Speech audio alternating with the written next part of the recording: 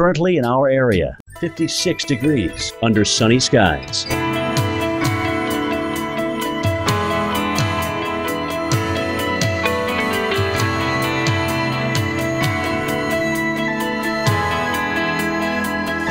Tonight, clear, low 32. Winds light and variable.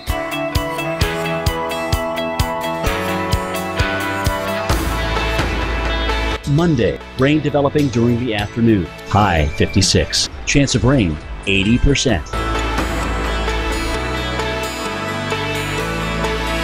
Monday night, rain, low 42. Chance of rain 90%. Rainfall near a quarter of an inch.